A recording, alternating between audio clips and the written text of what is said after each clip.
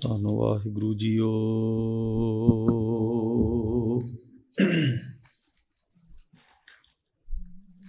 ਬਾਣੀ ਗੁਰੂ ਗੁਰੂ ਹੈ ਬਾਣੀ।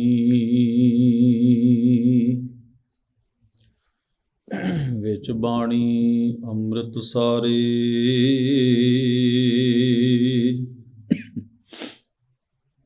ਗੁਰ ਬਾਣੀ ਕਹੈ। ਸੇਵਕ ਜਨ ਮਾਨੈ। ਪਰਤਖ ਗੁਰੂ ਨਿਸਤਾਰੇ।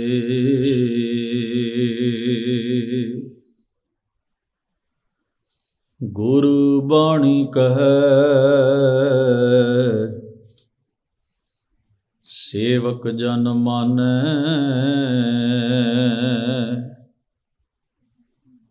ਪਰਤਖ ਗੁਰੂ ਨਿਸਤਾਰੇ।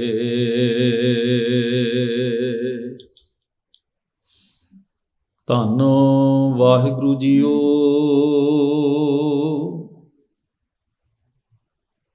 ਤਰਵਰ ਏਕ ਅਨੰਤ ਡਾਰ ਸ਼ਾਖਾ। ਉਹਪ ਪਤਰ ਰਸ ਭਰੀਆ।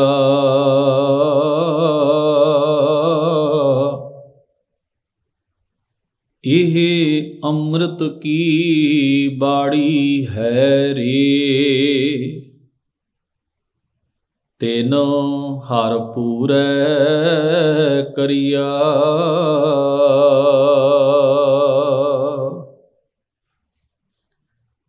ਜਾਨੀ ਜਾਨੀ ਰੇ। ਰਾਜਾ RAM ਕੀ ਕਹਾਣੀ।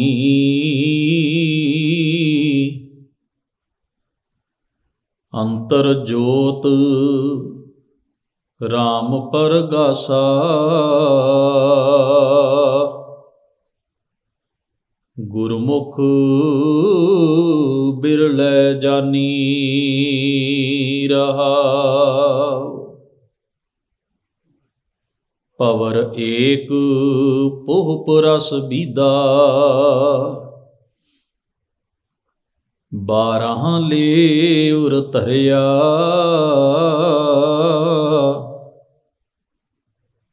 ਸੋਰਾਂ ਮੱਦੇ ਪਵਨ ਚਕੋਰਿਆ।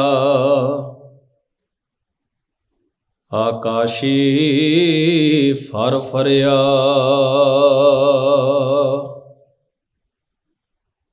ਸਹਿਜ ਸੁਨ ਇੱਕ ਬਿਰਵਾ ਉਪਜਿਆ। ਧਰਤੀ ਜਲ ਹਰ ਸੋਖਿਆ। ਕਹਿ ਕਬੀਰ ਹਉ ਤਾਂ ਕਾ ਸੇਵਕ। ਜਿਨ ਇਹੋ ਬਿਰਵਾ ਦੇਖਿਆ,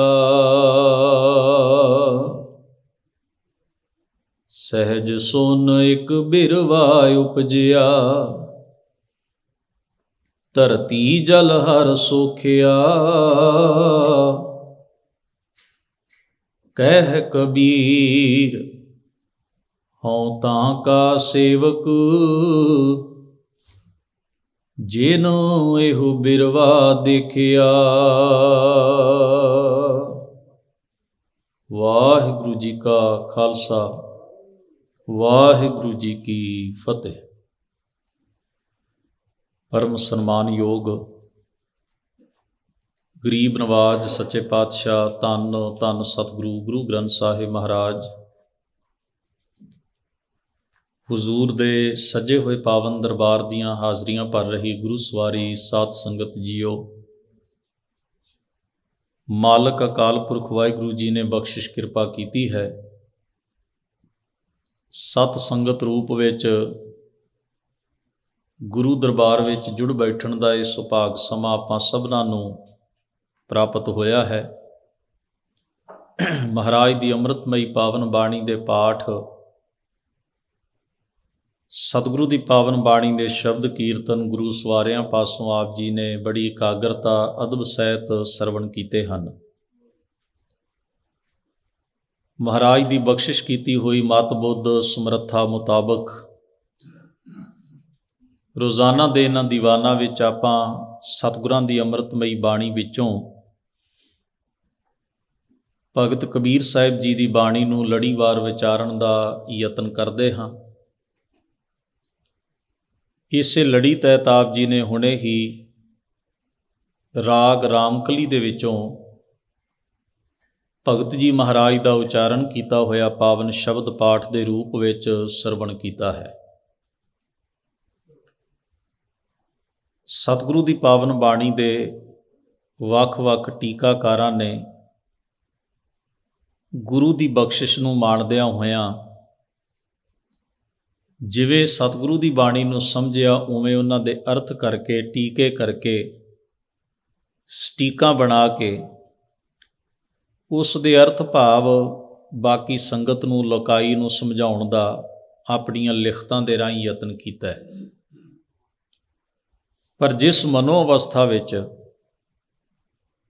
ਜਿਸ ਵਲਵਲੇ ਦੇ ਨਾਲ, ਜਜ਼ਬੇ ਦੇ ਨਾਲ, ਜਿਸ ਭਾਵਨਾ ਦੇ ਨਾਲ ਜਾਂ ਜਿਸ ਚੀਜ਼ ਨੂੰ ਮਹਿਸੂਸ ਕਰਦੇ ਆ ਬਾਣੀ ਉਚਾਰਨ ਕਰਨ ਵਾਲੇ ਮਹਾਪੁਰਖਾਂ ਨੇ ਬਚਨ ਕਹੇ ਹਨ, ਉਸ ਵਲਵਲੇ ਤੱਕ ਪਹੁੰਚਣਾ, ਉਸ ਜਜ਼ਬੇ ਤੱਕ ਜਾਣਾ ਜਾਂ ਆਪਣੇ ਅੰਦਰ ਉਹ ਜਿਹਾ ਅਹਿਸਾਸ ਪੈਦਾ ਕਰਨਾ, ਇਹ ਬੜੀ ਵੱਡੀ ਬਖਸ਼ਿਸ਼ ਦੀ ਗੱਲ ਹੈ। ਬਾਣੀ ਦਾ ਅਰਥ ਉਹਨਾਂ ਮਹਾਂਪੁਰਖਾਂ ਦੇ ਕਹੇ ਹੋਏ ਬਚਨ ਦਾ ਅਰਥ ਤਾਂ ਉਥੋਂ ਤੱਕ ਜਾ ਕੇ ਹੀ ਪੂਰਨ ਰੂਪ ਵਿੱਚ ਸਮਝਿਆ ਜਾ ਸਕਦਾ ਹੈ। ਪਰ ਫਿਰ ਵੀ ਜਬ ਲਗ ਦੁਨੀਆ ਰਹੀਆ ਨਾਨਕ ਕਿਛ ਸੁਣੀਐ ਕਿਛ ਕਹੀਐ। ਨੇਕ ਬਚਨ ਕਹਿੰਦੇ ਰਹਿਣਾ ਚਾਹੀਦਾ ਸੁਣਦੇ ਰਹਿਣਾ ਚਾਹੀਦਾ ਹੈ, ਤਿਨਾਂ ਪੁਰ ਵਿਚਾਰ ਕਰਦੇ ਰਹਿਣਾ ਚਾਹੀਦਾ ਇੱਕ ਰਾਈ ਮਾਤਰ, ਕਿਣਕਾ ਮਾਤਰ ਬਚਨ ਵੀ ਮਨੁੱਖ ਦੀ ਬੁੱਧ ਵਿੱਚ ਵਸ ਜਾਏ, ਸੁਰਤ ਵਿੱਚ ਵਸ ਜਾਏ, ਤਾਂ ਮਨੁੱਖ ਦੇ ਪਾਰ ਉਤਾਰੇ ਅਤੇ ਭਲੇ ਦਾ ਸਬਬ ਅਤੇ ਕਾਰਨ ਬਣ ਜਾਂਦਾ ਹੈ। ਸੋ ਇਸ ਮੁਬਾਰਕ ਬਚਨ ਨੂੰ ਆਪ ਜੀ ਨੇ ਸਰਵਣ ਕੀਤਾ ਹੈ। ਭਗਤ ਜੀ ਮਹਾਰਾਜ ਸਰਵ ਵਿਆਪਕ ਪਰਮੇਸ਼ਰ ਵਾਹਿਗੁਰੂ ਦਾ ਨਾਮ ਰਾਮ ਵਰਤਦੇ ਹਨ।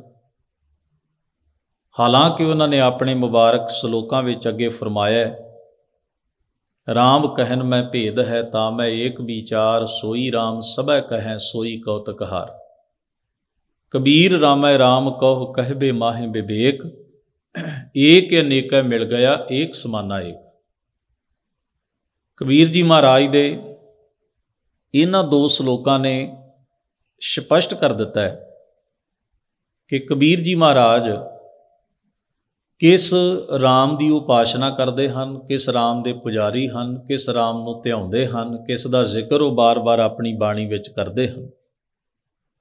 ਵਿਵੇਕ ਦਾ ਅਰਥ ਹੁੰਦਾ ਹੈ ਪਛਾਣ।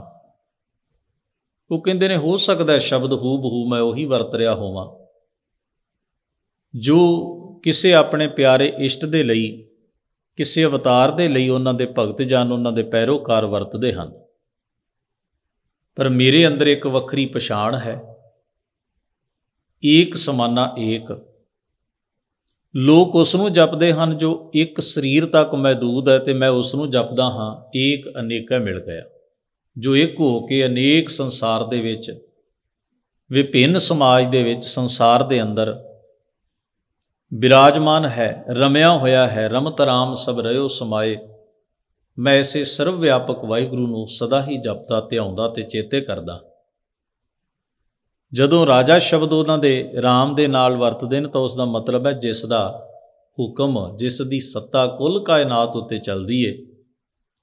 ਜਿਸ ਦਾ ਰਾਜ ਸਦੀਵ ਕਾਲ ਤੇ ਅਟਲ ਹੈ, ਜਿਸ ਦੀ ਵਿਆਖਿਆ ਸਾਹਿਬ ਦੀ ਬਾਣੀ ਵਿੱਚ ਹੋਈ ਹੈ, ਕੋਉ ਹਰ ਸਮਾਨ ਨਹੀਂ ਰਾਜਾ, ਇਹ ਭੂਪਤ ਸਭ ਦਿਵਸ ਚਾਰ ਕੇ ਝੂਠੇ ਕਰਤ ਦਿਵਾਜਾ।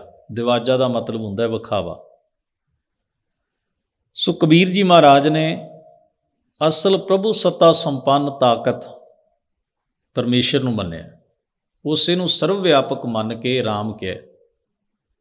ਤੇ ਕਹਿੰਦੇ ਹਨ ਜਾਨੀ ਜਾਨੀ ਰੇ, ਰਾਜਾ RAM ਕੀ ਕਹਾਣੀ? हे ਭਾਈ, ਮੈਂ ਜਾਣ ਲਈ ਹੈ। ਕਹਾਣੀ ਦਾ ਅਰਥ ਹੁੰਦਾ ਹੈ, ਐਸੇ ਸਰਵ ਵਿਆਪਕ ਤਾਕਤਵਰ ਹੁਕਮ ਦੇ ਮਾਲਕ ਪਰਮੇਸ਼ਰ ਦੇ ਨਾਲ ਜਿਹੜੀ ਸਾਂਝ ਦੀ ਅਵਸਥਾ ਹੈ। ਮੈਂ ਉਹਦਾ ਭੇਤ ਪਾ ਲਿਆ। ਮੈਂ ਉਸ ਨੂੰ ਜਾਣ ਲਿਆ। ਇਹ ਕਹਾਣੀ, ਇਹ ਰਮਜ਼ ਮੇਰੀ ਸਮਝ ਵਿੱਚ ਆ ਗਈ ਹੈ। ਕਿ ਜੋ ਸਭਨਾ ਵਿੱਚ ਵਿਆਪਕ ਹੈ ਤੇ ਜਿਸ ਦਾ ਹੁਕਮ ਕੁੱਲ ਕਾਇਨਾਤ ਵਿੱਚ ਹੈ, ਉਸ ਵਾਹਿਗੁਰੂ ਦੇ ਨਾਲ, ਉਸ ਪਰਮੇਸ਼ਰ ਦੇ ਨਾਲ ਜਿਹੜੀ ਸਾਂਝ ਉਹ ਕਿਵੇਂ ਬਣਦੀ ਹੈ ਤੇ ਕਿਸ ਤਰ੍ਹਾਂ ਬਣਦੀ ਹੈ, ਇਸ ਰਮਜ਼ ਨੂੰ, ਇਸ ਗੁੱਝੇ ਭੇਤ ਨੂੰ, ਇਸ ਕਹਾਣੀ ਨੂੰ ਮੈਂ ਜਾਣ ਲਿਆ, ਇਸ ਨੂੰ ਮੈਂ ਸਮਝ ਲਿਆ। ਜਿਵੇਂ ਇਹ ਸ਼ਬਦ ਆਪਾਂ ਆਮ ਹੀ ਆਪਣੀ ਬੋਲਚਾਲ ਵਿੱਚ ਵਰਤਦੇ ਹਾਂ। ਕੋਈ ਗੱਲ, ਕੋਈ ਭੁਲੇਖਾ ਦੂਰ ਹੋ ਜਾਏ ਗੱਲ ਪੂਰੀ ਸਪਸ਼ਟ ਸਾਨੂੰ ਸਮਝ ਵਿੱਚ ਆ ਜਾਏ ਆਪਾਂ ਕਹਿੰਦੇ ਮੈਨੂੰ ਹੁਣ ਸਾਰੀ ਕਹਾਣੀ ਸਮਝ ਵਿੱਚ ਆਈ ਵੀ ਗੱਲ ਕੀ ਹੈ। ਭਾਵ ਇਹ ਹੈ ਕਿ ਉਹ ਸਾਡੇ ਵਾਸਤੇ ਜੋ ਬੀਤੀ ਹੋਈ ਹੈ ਜੋ ਸਾਡੀ ਸਮਝ ਤੋਂ ਪਰੇ ਸੀ, ਜਿਹਦੇ ਬਾਰੇ ਸਾਡੇ ਅੰਦਰ ਭੁਲੇਖੇ ਸਨ, ਭਰਮ ਸਨ, ਸਾਨੂੰ ਗੱਲ ਹੋਰ ਸੀ ਤੇ ਹੋਰ ਤਰ੍ਹਾਂ ਸਮਝ ਆ ਰਹੀ ਸੀ। ਜਦੋਂ ਉਹਦਾ ਪੂਰਾ ਭੇਤ ਸਾਡੇ ਸਾਹਮਣੇ ਖੁੱਲ ਜਾਂਦਾ, ਉਹਦੀਆਂ ਗੁੰਝਣਾ ਖੁੱਲ ਜਾਂਦੀਆਂ ਨੇ, ਗੱਲ ਸਾਫ਼ ਤੇ ਸਪਸ਼ਟ ਹੋ ਜਾਂਦੀ ਆ, ਆਪਾਂ ਕਹਿੰਦੇ ਆ ਹੁਣ ਮੈਨੂੰ ਪੂਰੀ ਕਹਾਣੀ ਸਮਝ ਵਿੱਚ ਆਈ। ਠੀਕ ਉਸੇ ਲਹਿਜ਼ੇ ਵਿੱਚ ਇਸ ਮੁਹਾਵਰੇ ਦੀ ਵਰਤੋਂ ਭਗਤ ਕਬੀਰ ਜੀ ਮਹਾਰਾਜ ਨੇ ਕੀਤੀ ਕਹਿੰਦੇ, ਹੁਣ ਮੇਰੇ ਅੰਦਰ ਇਹ ਭੇਤ ਖੁੱਲਿਆ ਹੁਣ ਸਾਰੀਆਂ ਗੁੰਝਲਾਂ ਦੂਰ ਹੋ ਗਈਆਂ। ਇਹ ਡੂੰਘੇ ਭੇਤ ਤੇ ਰਮਜ਼ ਦੀ ਗੱਲ ਹੁਣ ਸਮਝ ਵਿੱਚ ਆਈ ਕਿ ਉਸ ਪਰਮੇਸ਼ਰ ਵਾਹਿਗੁਰੂ ਦੇ ਨਾਲ ਸਾਂਝ ਜੀਵ ਦੀ ਕਿਵੇਂ ਬਣਦੀ ਏ ਤੇ ਕਿਵੇਂ ਬਣਾ ਕੇ ਰੱਖੀ ਜਾ ਸਕਦੀ ਏ। ਕਿਹੜੀਆਂ ਚੀਜ਼ਾਂ ਉਹਦੇ ਵਿੱਚ ਸਹਾਇਕ ਨੇ? ਫਿਰ ਨਾਲ ਹੀ ਫਰਮਾਉਂਦੇ ਨੇ, ਕਹਿੰਦੇ ਹਨ, ਅੰਤਰ ਜੋਤ RAM ਪ੍ਰਗਾਸਾ, ਗੁਰਮੁਖ ਬਿਰਲੇ ਜਾਨੀ। ਅੰਤਰ ਦਾ ਮਤਲਬ ਹੈ ਹਿਰਦੇ ਵਿੱਚ। ਜਦੋਂ ਅੰਤਰ ਦੀ ਗੱਲ ਆਏਗੀ ਤੇ ਇਸ ਦਾ ਅਰਥ ਹੈ ਆਪਣੇ ਵਜੂਦ ਵਿੱਚ। ਤੇ ਵਜੂਦ ਦਾ ਅਰਥ ਹੈ ਜੋ ਮੇਰੀ ਪਛਾਣ, ਜੋ ਮੇਰੇ ਅੰਦਰ ਚੇਤਨਾ ਹੈ, ਉਹ ਮੇਰਾ ਵਜੂਦ ਹੈ। ਇਹਨੂੰ ਆਪਾਂ ਆਮ ਸਿੰਪਲ ਭਾਸ਼ਾ 'ਚ ਕਹਦੇ ਨੇ ਸਰੀਰ ਦੇ ਅੰਦਰ, ਸਰੀਰ ਭੀਤਰ। ਇਸ ਦਾ ਸਰੀਰ ਭੀਤਰ ਦਾ ਮਤਲਬ ਹੁੰਦਾ ਵੀ ਮੇਰੇ ਆਪਣੇ ਵਜੂਦ, ਮੇਰੇ ਆਪਣੇ ਚਿੰਤਨ ਵਿੱਚ, ਚੇਤੇ ਵਿੱਚ, ਜੋ ਮੇਰੇ ਸਰੀਰ ਦਾ ਆਧਾਰ ਹੈ ਚਿੰਤਨ, ਚੇਤਨ ਸਤਾ, ਉਹਦਾ ਭੇਤ ਪਾ ਲੈਣਾ, ਉਹਨੂੰ ਅੰਤਰ ਕਹਿੰਦੇ ਨੇ, ਮੇਰੇ ਅੰਦਰ ਇਹ ਗੱਲ ਹੈ। ਹੁਣ ਉਹ ਅੰਦਰ ਗੱਲ ਦਾ ਮਤਲਬ ਕੀ ਹੈ? ਇਸ਼ਾਰਾ ਸਾਡਾ ਸਰੀਰ ਵੱਲ ਹੀ ਹੁੰਦਾ ਹੈ। ਪਰ ਉਸ ਦਾ ਭਾਵ ਕੀ ਹੁੰਦਾ ਹੈ? ਵੀ ਮੇਰੇ ਚੇਤਨ, ਹੁਣ ਆਪਾਂ ਕਹਿੰਦੇ ਨਾ ਵੀ ਮੇਰੇ ਹਾਲਾਂਕਿ ਅਸੀਂ ਇੱਕ ਮੁਹਾਵਰਾ ਵਰਤਦੇ ਆਂ ਵੀ ਫਲਾਣੇ ਦੇ ਢਿੱਡ ਵਿੱਚ ਗੱਲ ਨਹੀਂ ਰਹਿੰਦੀ। ਹੁਣ ਗੱਲਾਂ ਢਿੱਡ 'ਚ ਨਹੀਂ ਹੁੰਦੀਆਂ, ਦਿਮਾਗ 'ਚ ਹੁੰਦੀਆਂ ਨੇ, ਬੁੱਧੀ 'ਚ ਹੁੰਦੀਆਂ ਨੇ, ਖਿਆਲ ਸ਼ਕਤੀ 'ਚ ਹੁੰਦੀਆਂ ਨੇ। ਪਰ ਜਦੋਂ ਅਸੀਂ ਸਰੀਰ ਦੇ ਕਿਸੇ ਅੰਗ ਦਾ ਵੀ ਨਾਂ ਲੈਨੇ ਆ ਨਾ, ਤਾਂ ਉਹਦਾ ਮਤਲਬ ਹੀ ਇਹ ਹੁੰਦਾ ਵੀ ਇਹਦੇ ਅੰਦਰ, ਇਹਦੇ ਭੀਤਰ ਇਹ ਗੱਲ ਵੀ ਇਹਨੂੰ ਜਰ ਨਹੀਂ ਸਕਦਾ। ਬਰਦਾਸ਼ਤ ਨਹੀਂ ਕਰਦਾ। ਗੱਲ ਨੂੰ ਸੁਣ ਕੇ, ਸਮਝ ਕੇ, ਜਾਣ ਕੇ ਉਹਨੂੰ ਜਰ ਲੈਣਾ। ਉਹਨੂੰ ਆਪਣੇ ਅੰਦਰ ਜਗ੍ਹਾ ਦੇਣੀ, ਸਪੇਸ ਦੇਣੀ, ਸਾਂਭਣ ਵਾਸਤੇ। ਇਹ ਵੀ ਇੱਕ ਬੜਾ ਵੱਡਾ ਹੁਨਰ ਹੈ, ਬੜਾ ਵੱਡਾ ਗੁਣ ਹੈ।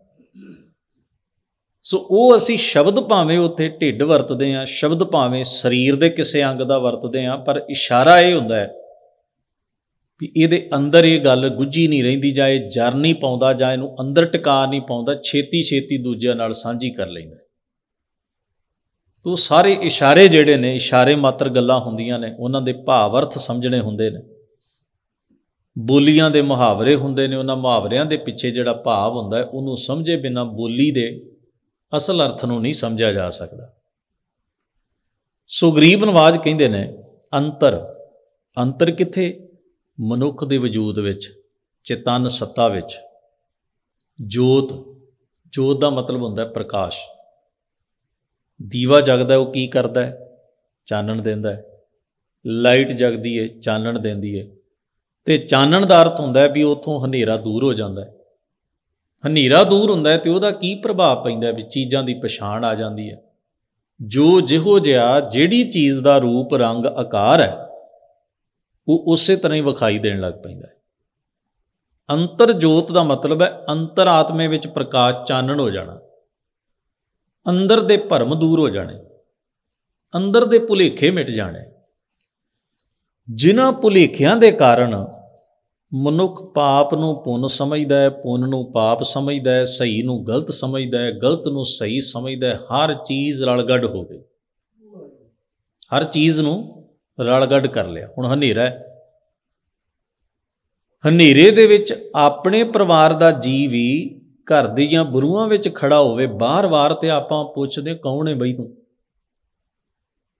ਉਹ ਕਹੇਗਾ ਵੀ ਤੁਸੀਂ ਮੈਨੂੰ ਪਛਾਣਦੇ ਨਹੀਂ, ਮੈਂ ਆਪਾਂ, ਮੈਂ ਤੁਹਾਡੇ ਹੀ ਟੱਬਰ ਦਾ ਜੀ ਆ ਤੁਹਾਡਾ ਰਿਸ਼ਤੇਦਾਰ ਆ ਹੱਦ ਹੋ ਗਈ। ਉਹ ਜੇ ਗਿਲਾ ਵੀ ਕਰੇ ਤੇ ਆਪਾਂ ਅੱਗੋਂ ਕਿਹੜੀ ਗੱਲ ਨਾਲ ਉਹਦਾ ਜਵਾਬ ਦਿੰਨੇ ਆ ਮੈਂ ਤੇਰਾ ਚਿਹਰਾ ਨਹੀਂ ਵੇਖਿਆ। ਆਵਾਜ਼ ਤੋਂ ਪਛਾਣਿਆ। ਮੈਨੂੰ ਕੀ ਪਤਾ ਤੂੰ ਕੌਣ ਹੈ? ਕਿ ਜਦੋਂ ਮੈਨੂੰ ਤੇਰਾ ਚਿਹਰਾ ਹੀ ਨਜ਼ਰ ਨਹੀਂ ਆਉਂਦਾ, ਮੈਨੂੰ ਤੇਰੀ ਪਛਾਣ ਹੀ ਨਹੀਂ ਆਉਂਦੀ, ਤੇ ਮੈਂ ਕਿਵੇਂ, ਮੈਂ ਇਹ ਸਵਾਲ ਕਿਉਂ ਨਾ ਕਰਾਂ ਵੀ ਤੂੰ ਕੌਣ ਹੈ? ਅਸੀਂ ਉਹਦੀ ਆਵਾਜ਼ ਤੋਂ ਉਹਨੂੰ ਪਛਾਣਦੇ ਆਂ ਵੀ ਅੱਛਾ ਤੂੰ ਫਲਾਨਾ ਹੈ। ਹੁਣ ਵੇਖੋ ਹਨੇਰਾ ਹੈ। ਆਪਣਾ ਬੰਦਾ ਹੀ, ਜਿਹਨੂੰ ਜਿਹਦੇ ਨਾਲ ਅਸੀਂ ਰਹਿੰਦੇ ਕਈ ਵਾਰ ਉਹ ਵੀ ਬੇਪਛਾਣ ਹੋ ਜਾਂਦਾ ਜਿਸ ਸੱਚ ਨੂੰ ਅਸੀਂ ਜਾਣ ਨਹੀਂ ਪਾਏ, ਜਿਸ ਸੱਚ ਦਾ ਅਸੀਂ ਅਭਿਆਸ ਨਹੀਂ ਕੀਤਾ, ਜ਼ਰਾ ਗੌਰ ਕਰੋ ਅੰਦਰ ਅਗਿਆਨ ਹੋਵੇ। ਉਹਦੀ ਪਛਾਣ ਆਉਣੀ ਕਿੰਨੀ ਔਖੀ ਹੈ। ਜਿਹਨੂੰ ਤੁਸੀਂ ਵੇਖਿਆ ਹੀ ਨਹੀਂ। ਜਿਹਦੇ ਨਾਲ ਤੁਸੀਂ ਹੰਡੇ ਨਹੀਂ। ਜਿਸ ਦੀ ਪਛਾਣ ਪਹਿਲਾਂ ਹੀ ਨਹੀਂ ਤੁਹਾਨੂੰ ਵੀ ਕੌਣ ਹੈ ਉਹ? ਉਹ ਤਾਂ ਚਿੱਟੇ ਦਿਨ ਵਿੱਚ ਵੀ ਉਹ ਬੰਦਾ, ਜਿਸ ਬਾਰੇ ਅਸੀਂ ਸੁਣਿਆ ਹੋਵੇ, ਜਿਸ ਬਾਰੇ ਅਸੀਂ ਪੜ੍ਹਿਆ ਹੋਵੇ, ਜਿਸ ਬਾਬਤ ਅਸੀਂ ਗੱਲਾਂ ਕਰਦੇ ਹੋਈਏ ਵੀ ਸਾਡਾ ਇੱਕ ਫਲਾਂ ਮਿੱਤਰ ਹੈ, ਫਲਾਨਾ ਰਿਸ਼ਤੇਦਾਰ ਹੈ, ਫਲਾਨੀ ਜਗ੍ਹਾ ਤੇ ਰਹਿੰਦਾ ਦੁਪਹਿਰ ਲੱਗੀ ਹੋਵੇ, ਉਹ ਸਾਡੇ ਘਰ ਵੱਲ ਨੂੰ ਤੁਰਿਆ, ਆਪਾਂ ਉਹਨੂੰ ਵੀ ਪੁੱਛ ਲਾਂਗੇ ਤੂੰ ਕੌਣ ਹੈ? ਉਹ ਸਾਨੂੰ ਆਪਣਾ ਨਾਮ ਦੱਸੇਗਾ। ਫਿਰ ਸਾਡੇ ਦਿਮਾਗ 'ਚ ਗੱਲ ਆਏਗੀ, ਅੱਛਾ, ਇਹਦੀਆਂ ਤਾਂ ਅਸੀਂ ਰੋਜ਼ ਗੱਲਾਂ ਕਰਦੇ ਆਂ ਘਰੇ, ਇਹ ਉਹ ਹੈ, ਬੜੇ ਚਿਰ ਬਾਅਦ ਮਿਲੇ ਆ ਪਰ ਜਿਸ ਚੀਜ਼ ਨੂੰ ਤੁਸੀਂ ਤੱਕਿਆ ਨਹੀਂ ਪਹਿਲਾਂ, ਜਿਸ ਦੀ ਪਛਾਣ ਸਾਡੇ ਅੰਦਰ ਨਹੀਂ ਟਿਕੀ ਹੋਈ, ਉਹਦੀ ਪਛਾਣ ਕਰਵਾਉਣ ਦੀ ਜੁਗਤ ਜਿਹੜੀ ਹੈ, ਉਹਦੀਆਂ ਗੱਲਾਂ, ਉਹਦੇ ਬਾਬਤ ਕਹੇ ਬਚਨ, ਜਿਹੜੀ ਦਿਮਾਗ ਵਿੱਚ ਗੱਲ ਉਹਦੇ ਪ੍ਰਤੀ ਟਿਕੀ ਹੈ, ਉਹ ਸਹਾਇਕ ਹੁੰਦੀ ਹੈ। ਗੁਰੂ ਸਾਨੂੰ ਸੱਚ ਦੀ ਗੱਲ ਦੱਸਦਾ ਹੈ, ਸੱਚ ਦੀ ਵਿਚਾਰ ਦਿੰਦਾ ਹੈ। ਹੌਲੀ ਹੌਲੀ ਉਹਦਾ ਸਰੂਪ ਸਾਡੇ ਅੰਦਰ ਟਿਕਾਉਂਦਾ ਵੀ ਸੱਚ ਆ ਹੈ, ਸੱਚ ਆ ਹੈ, ਸੱਚ ਆ ਹੈ। ਫਿਰ ਜਿਸ ਵੇਲੇ ਅਸੀਂ ਉਹਨੂੰ ਅੰਦਰੋਂ ਪ੍ਰਾਪਤ ਕਰ ਲੈਂਦੇ ਹਾਂ, ਫਿਰ ਸਾਨੂੰ ਉਹਦੀ ਪਛਾਣ ਆ ਜਾਂਦੀ ਫਿਰ ਉਹ ਗੈਰ ਨਹੀਂ ਰਹਿੰਦਾ, ਫਿਰ ਉਹ ਸਾਡਾ ਆਪਣਾ ਹੋ ਜਾਂਦਾ ਗੁਰੂ ਸਭ ਤੋਂ ਪਹਿਲਾਂ ਗੱਲੀ ਬਾਤੀ ਸਾਡੀ ਪਛਾਣ ਕਰਾਉਂਦਾ ਹੈ, ਫਿਰ ਸਾਨੂੰ ਅਭਿਆਸ ਕਰਾਉਂਦਾ ਹੈ, ਫਿਰ ਅਸੀਂ ਆਪਣੇ ਅੰਦਰੋਂ ਉਸ ਨੂੰ ਪ੍ਰਾਪਤ ਕਰਦੇ ਹਾਂ। ਬਾਹਰ ਢੂੰਡਣ ਤੇ ਛੂਟ ਪਰੇ ਗੁਰ ਘਰ ਹੀ ਮਾਹੇ ਦਿਖਾਇਆ ਥਾ। ਪਰ ਇਹ ਤਦ ਹੁੰਦਾ ਜੇ ਅੰਦਰ ਚਾਨਣ ਹੋਵੇ। ਅੰਤਰ ਜੋਤ RAM ਪ੍ਰਗਾਸਾ। ਸਰਵ ਵਿਆਪਕ ਵਾਹਿਗੁਰੂ ਦੀ ਹਸਤੀ ਨੂੰ ਮੈਂ ਆਪਣੇ ਅੰਦਰੋਂ ਹੀ ਟੋਲਿਆ। ਆਪਣੇ ਅੰਦਰੋਂ ਹੀ ਪਾ ਲਿਆ। ਪਰ ਹਜ਼ੂਰ ਕਹਿੰਦੇ, ਗੁਰਮੁਖ ਬਿਰਲੇ ਜਾਨੀ। ਵਿਰਲੇ ਹਨ ਭਾਈ, ਗੁਰੂ ਦੇ ਸਨਮੁਖ ਹੋ ਕੇ ਜਿਨ੍ਹਾਂ ਨੇ ਆਪਣੇ ਵਜੂਦ ਵਿੱਚੋਂ ਉਸ ਸਰਵ ਵਿਆਪਕ ਸੱਤਾ ਤੇ ਜੋਤ ਨੂੰ ਜਾਣਿਆ ਹੈ, ਪਛਾਣਿਆ ਹੈ, ਬਹੁਤ ਵਿਰਲੇ ਹਨ। ਵਿਰਲੇ ਦੇ ਦੋ ਅਰਥ ਨੇ, ਇੱਕ ਤਾਂ ਹੈਨ ਵਿਰਲੇ ਨਾ ਹੀ ਕਣੇ ਇਹੋ ਜਿਹੇ ਲੋਕਾਂ ਦੀਆਂ ਭੀੜਾਂ ਨਹੀਂ ਹੁੰਦੀਆਂ।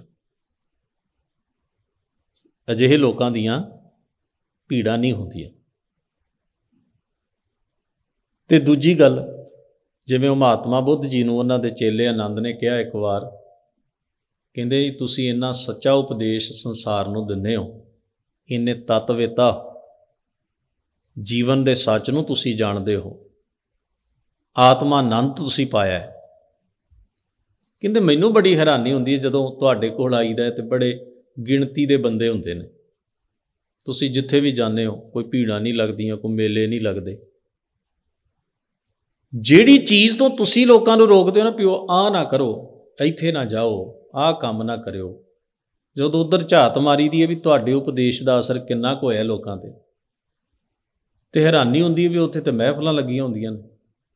ਭੀੜਾਂ ਹੀ ਭੀੜਾਂ ਨੇ। ਲੋਕ ਹੀ ਲੋਕ ਨੇ।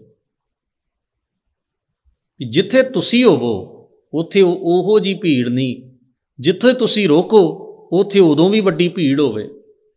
ਤੇ ਕਈ ਵਾਰ ਸਾਡੇ ਮਨ ਚ ਆਉਂਦਾ ਨਾ ਜੀ, ਵੇਖੋ, ਪਤਾ ਨਹੀਂ, ਲੋਕ ਗੁਰੂ ਦੀ ਗੱਲ ਕਿਉਂ ਨਹੀਂ ਸੁਣਦੇ? ਮਹਾਤਮਾ ਦੀ ਗੱਲ ਕਿਉਂ ਨਹੀਂ ਸੁਣਦੇ? ਉਹ ਆਨੰਦ ਨੇ ਕਿਹਾ, ਉਹਨਾਂ ਦਾ ਪਰਮ ਸੇਵਕ ਸੀ, ਉਹਨਾਂ ਦੇ ਨਾਲ ਰਹਿਣ ਵਾਲਾ। ਕਹਿੰਦਾ ਜੀ, ਮੈਨੂੰ ਇਹ ਗੱਲ ਹੈ ਭੇਤ ਅਜੇ ਤੱਕ ਸਮਝ ਨਹੀਂ ਆ ਵੀ ਇਸ ਤਰ੍ਹਾਂ ਕਿਉਂ ਵਾਪਰਦਾ ਬੜੇ ਸਿੱਧੇ ਜੇ ਸ਼ਬਦਾਂ ਵਿੱਚ ਮਹਾਤਮਾ ਬੁੱਧ ਨੇ ਕਿਹਾ, ਇੱਕ ਨਿਯਮ, ਇੱਕ ਵਿਚਾਰ, ਸਦਾ ਆਪਣੀ ਬੁੱਧ ਵਿੱਚ ਵਸਾ ਕੇ ਰੱਖ ਆਨੰਦ। ਸਿਆਣੇ ਲੋਕਾਂ ਦੀ ਕਦੇ ਭੀੜ ਨਹੀਂ ਹੁੰਦੀ। ਤੇ ਭੀੜ 'ਚ ਸਿਆਣੇ ਲੋਕ ਕਦੇ ਨਹੀਂ ਜਾਂਦੇ। ਸਿਆਣਪ ਕਮਾਉਣੀ ਪੈਂਦੀ ਹੈ ਭੀੜ ਵਿੱਚ ਸਿਆਣਪ ਦੀ ਕੋਈ ਨਹੀਂ ਸੁਣਦਾ। ਉੱਥੇ ਇੱਕ ਨੂੰ ਵੇਖ ਕੇ ਦੂਜਾ ਆਇਆ, ਦੂਜੇ ਨੂੰ ਵੇਖ ਕੇ ਤੀਜਾ ਆਇਆ, ਤੀਜੇ ਨੂੰ ਵੇਖ ਕੇ ਚੌਥਾ ਆਇਆ। ਜੇ ਮਾਰਗ ਪੰਡਤ ਗਏ ਪਾਸ਼ਾ ਪਰਿਵੀਰ ਇਹ ਕਵਕਟ ਕਾਟੀ ਰਾਮ ਕੀ? ਪੰਡਤ ਨੇ ਕਿਹਾ, ਇਧਰ ਨੂੰ ਪਾਣੀ ਦਿਓ, ਕਿੰਨਾ ਕੌਖਾ ਕੰਮ ਹੈ। ਬੰਦਾ ਪਹੁੰਚੇ ਟੰਗਦਾ ਨਦੀ ਚ ਵੜਦਾ, ਪਾਣੀ ਚ ਰੱਟ ਦਿੰਦਾ। ਕਬੀਰ ਜੀ ਕਹਿੰਦੇ ਨੇ, ਮਨ ਨੂੰ ਇਧਰੋਂ ਮੋੜ ਲਓ। ਇਹ ਬੜਾ ਔਖਾ ਕੰਮ ਹੈ। ਇਹ ਹੋ ਸਕਦਾ ਇਕੱਲੇ ਕਬੀਰ ਜੀ ਕਰਦੇ ਹੋਣ। ਉਹਦਾ ਪਾਣੀ ਸੁੱਟਣ ਵਾਲਾ ਕੰਮ ਸੌਖਾ ਹੈ। ਮਨ ਮੋੜਨ ਵਾਲਾ ਕੰਮ ਔਖਾ ਹੈ। ਤੁਸੀਂ ਆਪ ਅੰਦਾਜ਼ਾ ਲਾਓ ਭੀੜ ਪੰਡਤ ਮਗਰ ਹੋਏਗੀ ਕਿ ਕਬੀਰ ਜੀ ਮਗਰ ਹੋਏਗੀ? ਪੰਡਤ ਕਹਿੰਦਾ, ਜਨੇਊ ਪਾਓ। ਖੱਬੇ ਮੋਢੇ ਤੋਂ ਸੱਜੀ ਵੱਖੀ ਵੱਲ। ਆ ਰੁੱਤ ਹੋਏਗੀ ਆ ਕਿਰਿਆ ਹੋਏਗੀ, ਇੰਨਾ ਕੁ ਖਰਚਾ ਹੋਏਗਾ, ਸਾਰਾ ਕੁਝ ਜੋ ਵੀ ਹੈ। ਪੋਸੀਬਲ ਹੈ ਬੰਦਾ ਕਰ ਸਕਦਾ ਹੈ, ਔਖਾ ਸੌਖਾ ਹੈ, ਰਸਮਾਂ ਨੇ ਨਿਭਾ ਸਕਦਾ ਹੈ। ਨਿਭਾਉਣਾ ਹੀ ਆਪਾਂ ਸਾਰੇ ਨਿਭਾਉਨੇ ਆ ਸਾਰੀ ਜ਼ਿੰਦਗੀ ਰਸਮਾਂ ਹੀ ਨਿਭਾਉਨੇ ਆ ਗੁਰੂ ਨਾਨਕ ਕਹਿੰਦੇ ਨੇ, ਦਇਆ, ਕਪਾਹ, ਸੰਤੋਖ, ਸੂਤ, ਜਤ, ਗੰਢੀ ਸਤ ਵਟ ਇਹ ਜਨੇਊ ਬਾਹਰ ਦੇ ਮਟੀਰੀਅਲ ਨਾਲ ਨਹੀਂ ਬਣਨਾ। ਇਹਦਾ ਮਟੀਰੀਅਲ ਖੁਦ ਆਪਣੇ ਅੰਦਰੋਂ ਤੁਹਾਨੂੰ ਇਹਦੀ ਪ੍ਰੋਡਕਸ਼ਨ ਕਰਨੀ ਪੈਣੀ, ਦਇਆ ਉਧਾਰੀ ਨਹੀਂ ਮਿਲਣੀ, ਸੰਤੋਖ ਗਵਾਂਡੀਆਂ ਕੋਲੋਂ ਨਹੀਂ ਮਿਲਣਾ, ਜਾਤ ਤੇ ਸਤ ਕਿਸੇ ਦੁਕਾਨ ਤੇ ਬਾਜ਼ਾਰ ਚੋਂ ਨਹੀਂ ਲੱਭਣਾ, ਇਹਦੀ ਪ੍ਰੈਕਟਿਸ ਕਰਨੀ ਪੈਣੀ ਹੈ, ਅਭਿਆਸ ਕਰਨਾ ਪੈਣਾ ਹੈ। ਤੇ ਇਹ ਅਭਿਆਸ ਤੇ ਇਹ ਪ੍ਰੈਕਟਿਸ ਕਰਨ ਵਾਸਤੇ ਐਨ ਸੂਈ ਦੇ ਨੱਕੇ ਵਿੱਚ ਦੀ ਲੰਘਣਾ ਪੈਣਾ ਹੈ, ਆਪਣੀ ਸੁਰਤ ਆਪਣੇ ਮਨ ਨਾਲ ਰੋਜ਼ ਹੀ ਤੁਹਾਨੂੰ ਦੋ ਚਾਰ ਹੋਣਾ ਪੈਣਾ ਹੈ। ਇੰਨਾ ਕਠਿਨ ਕੰਮ ਕਰਨ ਵਾਲਾ ਇਹ ਜਨੇਊ ਪਹਿਨਣਾ ਸੌਖਾ ਹੈ ਕਿ ਜਿਹੜਾ ਦੂਜਾ ਜਨੇਊ ਪਹਿਨਣਾ ਹੈ ਉਹ ਸੌਖਾ ਹੈ? ਜਿਹੜਾ ਦੇਹੀ ਤੱਕ ਹੀ ਹੈ। ਜਿਹਨੇ ਸਰੀਰ ਤੱਕ ਸੀਮਤ ਰਹਿਣਾ ਉਹ ਕੰਮ ਸੌਖਾ ਹੈ ਕਿ ਜਿਹੜਾ ਆਤਮਾ ਤੱਕ ਪਹੁੰਚਣਾ ਹੈ ਕੰਮ, ਉਹ ਸੌਖਾ ਹੈ। ਬੰਦਾ ਭੱਜਦਾ ਹੀ ਆਪਣੇ ਆਪ ਨੂੰ ਬਦਲਣ ਤੋਂ ਹੈ। ਨਿਜ ਦੇ ਉੱਤੇ ਜਿਹੜਾ ਧਰਮ ਲਾਗੂ ਹੁੰਦਾ ਉਹ ਬੜਾ ਕਠਿਨ ਹੁੰਦਾ ਹੈ। ਜਿਹੜਾ ਕਰਮਕਾਂਡ ਦਾ ਮਾਰਗ ਹੁੰਦਾ ਉਹ ਬੜਾ ਸੁਖੈਨ ਹੁੰਦਾ ਭਾਵੇਂ ਵਿੱਚ ਕਠਿਨਾਈ ਵੀ ਹੋਵੇ, ਬੰਦਾ ਉਹਨੂੰ ਦੇਖਾ ਦੇਖੀ ਕਰ ਲੈਂਦਾ ਉੱਥੇ ਤੁਹਾਨੂੰ ਬਰੀਕ ਸੁਰਤ ਦੀ ਲੋੜ ਨਹੀਂ ਪੈਂਦੀ, ਵਿਵੇਕ ਦੀ ਲੋੜ ਨਹੀਂ ਪੈਂਦੀ। ਉੱਥੇ ਤੁਸੀਂ ਬਸ ਭੀੜ ਹੈ, ਤੁਸੀਂ ਉਹਦੇ 'ਚ ਸ਼ਾਮਲ ਹੋਣਾ ਹੁੰਦਾ ਹੈ। ਤੇ ਭੀੜ ਆਪਣੇ ਆਪ ਨੂੰ ਸਰਟੀਫਿਕੇਟ ਇਹ ਦਿੰਦੀ ਹੈ, ਵੇਖੋ ਜੀ ਇੰਨੇ ਲੋਕ ਗਲਤ ਕਿਵੇਂ ਹੋ ਸਕਦੇ ਨੇ। ਇਹ ਫੋਬੀਆ ਸਾਨੂੰ ਸਾਰਿਆਂ ਨੂੰ ਹੁੰਦਾ, ਇੰਨੇ ਲੋਕ ਮੂਰਖ ਨੇ ਜੀ, ਤੂੰ ਕੱਲਾ ਸਿਆਣਾ ਉਹ ਕੱਲਾ ਭਾਵੇਂ ਲੱਖ ਸਿਆਣਾ ਹੋਵੇ, ਪਰ ਭੀੜ ਸਮਝਦੀ ਏ, ਜਿੱਥੇ ਬਹੁਤੇ ਲੋਕ ਹਨ ਉਹ ਸਿਆਣੇ ਹੀ ਹੁੰਦੇ ਹਨ। ਬਸ ਇਹ ਫ਼ਰਕ ਹੈ। ਗਰੀਬ ਨਵਾਜ਼ ਸੱਚੇ ਪਾਤਸ਼ਾਹ ਜਦੋਂ ਵਿਰਲੇ ਜਾਨੀ ਦਾ ਗੱਲ ਕਰਦੇ, ਉਹਦਾ ਮਤਲਬ ਹੈ ਭੀੜ ਤੋਂ ਹਟ ਕੇ ਇਹ ਨਿੱਜ ਦਾ ਪ੍ਰੋਸੈਸ ਹੈ। ਨਿੱਜ ਦਾ ਸਫ਼ਰ ਹੈ। ਸੈਲਫ ਇੰਪਰੂਵਮੈਂਟ ਹੈ। ਆਪਣੇ ਆਪ ਨਾਲ ਸੰਘਰਸ਼ ਹੈ। ਜਿਨੀ ਨਾਮ ਤੇ ਆਇਆ ਗਏ, ਮਸ਼ਕਤ ਘਾਲ ਇਹ ਘਾਲਣਾ ਦਾ ਮਾਰਗ ਹੈ। ਇਸ ਕਰਕੇ ਵਿਰਲੇ ਜਨ ਇਸ ਪਾਸੇ ਤੁਰਦੇ ਨੇ। ਔਰ ਜਿਹੜੇ ਤੁਰਦੇ ਨੇ ਵਿਰਲੇ ਜਨ ਦਾ ਦੂਜਾ ਭਾਵ ਇਹ ਹੈ ਕਿ ਉਹ ਇੰਪੋਰਟੈਂਟ ਨੇ, ਮਹੱਤਵਪੂਰਨ ਨੇ। ਪੰਜ ਪ੍ਰਵਾਨ, ਪੰਜ ਪ੍ਰਧਾਨ ਪੰਚੇ ਪਾਵੈ ਦਰਗਹ ਮਾਨ ਪੰਚੇ ਸੋਹੈ ਦਰ ਰਾਜਾਨ ਪੰਚਾਂ ਕਾ, ਪੰਚ ਦਾ ਅਰਥ ਹੈ ਸ੍ਰੇਸ਼ਟ। ਸੁਰੰਭ ਦੇ ਵਾਕ ਵਿੱਚ ਕਹਿੰਦੇ ਉਸ ਨੂੰ ਇਹ ਭੇਤ ਸਮਝਾਇਆ ਤਰਵਰ ਏਕ ਅਨੰਤ ਡਾਰ ਸ਼ਾਖਾ, ਪੋਹ ਪਪਤਰ ਰਸ ਭਰੀਆ। ਇਹ ਅੰਮ੍ਰਿਤ ਕੀ ਬਾੜੀ ਹੈ ਰੇ? ਤਿਨ ਹਰ ਪੂਰੇ ਕਰੀਆ। ਤਰਵਰ ਏਕ, ਜਿਵੇਂ ਇੱਕ ਰੁੱਖ ਹੈ, ਉਹਦੀਆਂ ਨੇਕਾਂ ਅੱਗੇ ਟਾਹਣੀਆਂ ਨੇ, ਫਿਰ ਉਹਨੂੰ ਪੱਤੇ ਲੱਗਦੇ ਨੇ, ਕਿੰਨੇ ਫੁੱਲ ਪੈਂਦੇ ਨੇ, ਫਿਰ ਫਲ ਲੱਗਦੇ ਨੇ। ਉਹਨਾਂ ਸ਼ਾਖਾਵਾਂ ਟਾਹਣੀਆਂ ਦੇ ਵਿੱਚ, ਪੱਤਿਆਂ ਵਿੱਚ, ਫੁੱਲਾਂ ਵਿੱਚ, ਫਲਾਂ ਵਿੱਚ ਰਸ ਭਰਿਆ ਹੋਇਆ ਕਬੀਰ ਜੀ ਮਹਾਰਾਜ ਕਹਿੰਦੇ, ਸੰਸਾਰ ਦਾ ਸੰਸਾਰ ਇੱਕੋ ਹੀ ਰੁੱਖ ਹੈ, ਭਾਵ ਬ੍ਰਹਮ ਹੀ ਰੁੱਖ ਹੈ। ਚੇਤਨ ਸੱਤਾ ਹੀ ਉਹ ਮੂਲ ਹੈ, ਜਿਸ ਵਿੱਚੋਂ ਵਿਭਿੰਨ ਤਰ੍ਹਾਂ ਦੇ ਪਦਾਰਥ ਤੇ ਜੀਵ ਦੀ ਉਤਪਤੀ ਹੋਈ ਹੈ। ਜਿਵੇਂ ਇੱਕ ਰੁੱਖ ਦੇ ਨਾਲ ਰੁੱਖ ਇੱਕ ਬਜਵੀਂ ਚੀਜ਼ ਹੈ। ਕਿੰਨੀਆਂ ਟਾਹਣੀਆਂ ਨੇ, ਕਿੰਨੇ ਪੱਤੇ ਨੇ, ਕਿੰਨੇ ਫੁੱਲ ਨੇ, ਕਿੰਨੇ ਫਲ ਨੇ, ਇੱਕ ਰੁੱਖ ਨੂੰ ਲੱਗੇ ਹੋਏ। ਉਹ ਸਾਰਾ ਕੁਝ ਮਿਲਾ ਕੇ ਹੀ ਇੱਕ ਰੁੱਖ ਬਣਿਆ। ਉਹਦੇ ਚ ਰਸ ਹੈ। ਇਸੇ ਤਰ੍ਹਾਂ ਇਸ ਕੁੱਲ ਸੰਸਾਰ, ਕੁੱਲ ਮਖਲੂਕ, ਕੁੱਲ ਕਾਇਨਾਤ ਇੱਕ ਬਜਵਾ ਰੁੱਖ ਹੈ। ਇਹਦੇ ਚ ਵਿਭਿੰਨਤਾ ਹੈ। ਮਨੁੱਖਾਂ ਦੀਆਂ ਸ਼ਕਲਾਂ ਹੀ ਨਹੀਂ ਰਲਣਗੀਆਂ, ਸੁਭਾਅ ਨਹੀਂ ਰਲਣਗੇ, ਕਰਮ ਨਹੀਂ ਰਲਣਗੇ। ਫਿਰ ਉਹ ਜਿਹੜੇ ਖਿੱਤੇ 'ਚ ਰਹਿਣ ਲੱਗ ਪਏ, ਉਹਨਾਂ ਦੀਆਂ ਬੋਲੀਆਂ, ਉਹਨਾਂ ਦੇ ਪਹਿਰਾਵੇ, ਉਹਨਾਂ ਦੇ ਰਸਮੋ ਰਿਵਾਜ, ਉਹਨਾਂ ਦਾ ਰਹਿਣ ਸਹਿਣ ਅਲੱਗ-ਅਲੱਗ ਹੈ ਸਭ। ਇੱਕ ਮਨੁੱਖ ਜਾਤੀ ਦੇ ਵਿੱਚ ਇੰਨਾ ਭੇਦ ਹੈ। ਤੇ ਕਿੰਨੇ ਤਰ੍ਹਾਂ ਦੇ ਜੀਵ ਨੇ ਇਸ ਕਾਇਨਾਤ ਵਿੱਚ? ਜੀਵ ਜੰਤੂ ਨੇ। ਅਣਗਿਣਤ, ਗਿਣੇ ਹੀ ਨਹੀਂ ਜਾ ਸਕਦੇ। ਅਣਗਿਣਤ। ਕਿੰਨੇ ਚੇਤਨ ਤੇ ਕਿੰਨੇ ਜੜ। ਹਰ ਇੱਕ ਚੀਜ਼ ਦਾ ਮੂਲ ਕੀ ਹੈ? ਬ੍ਰਹਮ, ਚੇਤਨ, ਸੱਤਾ। ਇੱਕ ਕਰਤੇ ਵਿੱਚੋਂ ਸਾਰਾ ਉਪਜਿਆ ਹੋਇਆ ਸੰਸਾਰ। ਔਰ ਇਹਨਾਂ ਸਾਰਿਆਂ ਦੇ ਅੰਦਰ ਜੀਵਨ ਜੋਤ ਇੱਕੋ ਹੀ ਹੈ। ਸਭ ਮੈਂ ਜੋਤ ਜੋਤ ਹੈ, ਸੋਏ। ਤਿਸ ਦਾ ਚਾਨਣ ਸਭ ਮੈਂ, ਚਾਨਣ ਹੋਏ। ਗੁਰ ਸਾਖੀ, ਜੋਤ ਪ੍ਰਗਟ ਹੋਏ। ਗਰੀਬ ਨਵਾਜ ਕਹਿੰਦੇ ਨੇ, ਪੋਪ ਪੱਤਰ ਰਸ ਭਰੀਆ, ਇਹ ਅੰਮ੍ਰਿਤ ਕੀ ਬਾੜੀ ਹੈ ਤਿੰਨ ਹਰ ਪੂਰੈ ਕਰੀਆ। ਉਸ ਹਰੀ ਪ੍ਰਭੂ ਨੇ ਇਸ ਨੂੰ ਸਿਰਜਿਆ ਇਹ ਜਗ ਵਾੜੀ, ਮੇਰਾ ਪ੍ਰਭ ਮਾਲੀ, ਸਦਾ ਸੰਭਾਲੇ। ਉਹ ਨਾ ਹੀ ਖਾਲੀ। ਤੇ ਹਜ਼ੂਰ ਦੀ ਦ੍ਰਿਸ਼ਟੀ ਕਹਿੰਦੀ ਹੈ ਇਹਦੇ ਚ ਅੰਮ੍ਰਿਤ ਵੀ ਹੈ। ਇਹਦੇ ਵਿੱਚ ਅੰਮ੍ਰਿਤ ਵੀ ਹੈ। ਜਦੋਂ ਤੁਹਾਡੀ ਰਸਾਈ ਉਸ ਬ੍ਰਹਮ ਤੱਕ ਹੁੰਦੀ ਹੈ ਤੇ ਤੁਹਾਡੇ ਲਈ ਇਹ ਸੰਸਾਰ ਅੰਮ੍ਰਿਤ ਹੈ। ਜਦੋਂ ਤੁਹਾਡੀ ਰਸਾਈ ਵਾਸ਼ਨਾ ਤੱਕ ਹੈ ਤੇ ਤੁਹਾਡੇ ਲਈ ਇਹ ਸੰਸਾਰ ਜ਼ਹਿਰ ਬਿਖ ਹੈ, ਨਰਕ ਹੈ, ਦੁੱਖਾਂ ਦਾ ਘਰ ਹੈ, ਤਕਲੀਫਾਂ ਦਾ ਮੰਜ਼ਰ ਹੈ ਸਜ਼ਾ ਕੱਟਣ ਆਏ ਹੋਏ ਹਾਂ ਇੱਥੇ। ਜਦੋਂ ਵਾਸ਼ਨਾ ਤੱਕ ਹਾਂ ਤਾਂ ਜ਼ਹਿਰ ਭੋਗ ਰਹੇ ਹਾਂ। ਜਦੋਂ ਚੇਤਨ ਸੱਤਾ ਤੱਕ ਸੁਰਤ ਗਈ, ਤਾਂ ਅੰਮ੍ਰਿਤ ਹੋ ਗਿਆ। ਸਹਿ ਫਰਮਾਉਂਦੇ ਨੇ, ਭਵਰ ਏਕ ਪੁਹ ਪਰਸ ਬੀਦਾ 12 ਲੇ ਉਰ ਧਰਿਆ। ਕਬੀਰ ਜੀ ਨੇ ਦੂਜੀ ਉਦਾਹਰਨ ਦਿੱਤੀ, ਕਹਿੰਦੇ ਤੁਸੀਂ ਇੱਕ ਭਵਰੇ ਨੂੰ ਵੇਖੋ।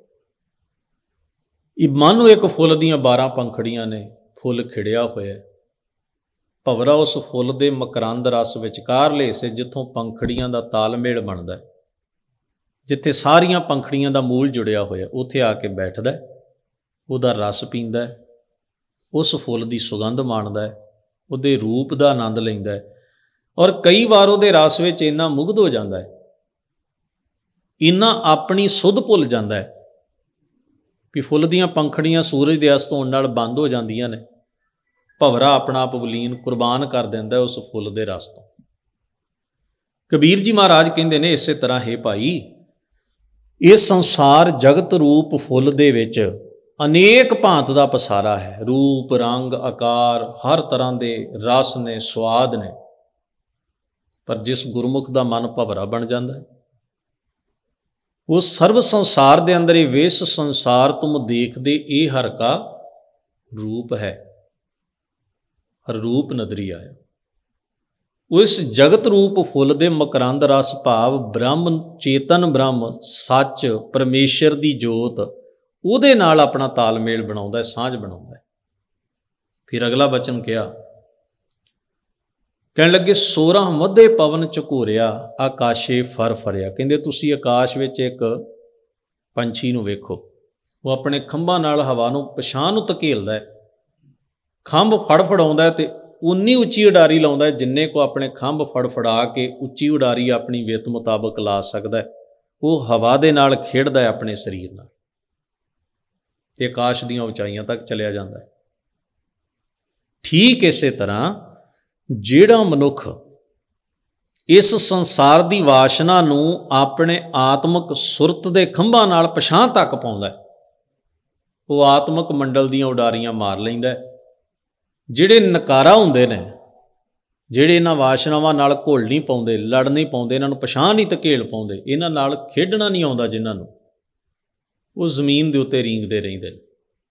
ਉਹ ਆਕਾਸ਼ ਦੀ ਉਚਾਈ ਭਾਵ ਉਹ ਸਹਿਜ ਆਨੰਦ ਅਵਸਥਾ ਦਾ ਲਾਹਾ ਕਦੇ ਪ੍ਰਾਪਤ ਨਹੀਂ ਕਰ ਪਾਉਂਦੇ।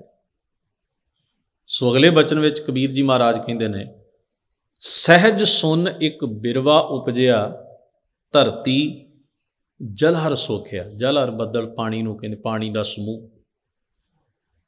ਕਹਿੰਦੇ ਹਿਰਦਾ ਧਰਤੀ ਹੈ ਇਹਦੇ ਚ ਪਾਣੀ ਖੜਾ ਹੈ।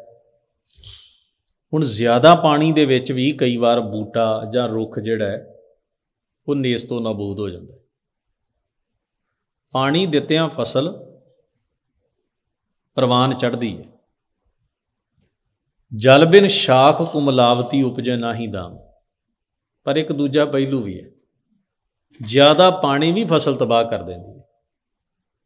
ਪਾਣੀ 'ਚ ਖੜਾ ਹੋਇਆ ਰੁੱਖ ਅੰਦਰੋਂ ਜੜਾਂ ਕਰਕੇ ਗਲ ਜਾਂਦਾ ਹੈ ਤੇ ਤਬਾਹ ਹੋ ਜਾਂਦਾ ਹੈ। ਐਸਾ ਵੀ ਹੁੰਦਾ ਹੈ। ਪਦਾਰਥਕ ਲੋੜ ਸਰੀਰ ਨੂੰ ਪਾਲਦੀ ਹੈ। ਲੋੜ ਜਦੋਂ ਲੋਭ ਬਣਦੀ ਹੈ, ਸਮਝੋ ਪਾਣੀ ਖਲੋਣ ਲੱਗ ਪਿਆ ਸੁਰਤ ਪਲੀਤ ਕਰੇਗੀ। ਅੰਦਰੋਂ ਬੰਦੇ ਨੂੰ ਖੰਡਤ ਤੇ ਤਬਾਹ ਕਰੇਗੀ। ਉਹੀ ਪਾਣੀ ਜਿਹੜਾ ਸਰੀਰ ਨੂੰ ਪਾਲਦਾ ਹੈ, ਉਹੀ ਪਾਣੀ ਸੁਰਤ ਨੂੰ ਨੇਸ ਤੋਂ ਨਾਬੂਦ ਕਰਦਾ ਜਦੋਂ ਖਲੋਣ ਲੱਗ ਪਏ ਸਟਕ ਹੋਣ ਲੱਗ ਪਏ। ਮਾਣ ਸਤਕਾਰ ਤੇ ਰਿਸਪੈਕਟ ਇਹ ਬੰਦੇ ਨੂੰ ਸ਼ਾਬਾਸ਼ ਹੈ ਕਿਸੇ ਨੂੰ ਸਤਕਾਰ ਦੇਣਾ ਇੱਕ ਤਰ੍ਹਾਂ ਦੀ ਸ਼ਾਬਾਸ਼ ਹੈ। ਐਪਰੀਸ਼ੀਏਟ ਕਰਨਾ। ਇਹ ਸਤਕਾਰ ਮਨੁੱਖ ਦੀ ਆਤਮਾ ਨੂੰ ਪਲੀਤ ਵੀ ਕਰਦਾ ਜਦੋਂ ਖਲੋਣ ਲੱਗ ਪੈਂਦਾ ਹੈ। ਜਦੋਂ ਬੰਦੇ ਦੇ ਅੰਦਰ ਹਵਸ ਬਣ ਜਾਂਦੀ, ਸਤਕਾਰ ਹੀ ਮਿਲੇ ਜੀ। ਮੈਂ ਗਲਤ ਵੀ ਹੋਵਾਂ ਤਾਂ ਵੀ ਰਿਸਪੈਕਟ ਦੇ ਦਿਓ। ਸਮਝੋ ਬੰਦਾ ਤਬਾਹ ਹੋ ਰਿਹਾ ਜਾਨੀ ਕੋਈ ਵੀ ਚੀਜ਼ ਹੈ, ਉਹ ਜੀਵਨ ਲਈ ਲੋੜੀਂਦੀ ਤੇ ਹੈ, ਪਰ ਉਹਦੀ ਇੱਕ ਮਾਤਰਾ ਹੈ।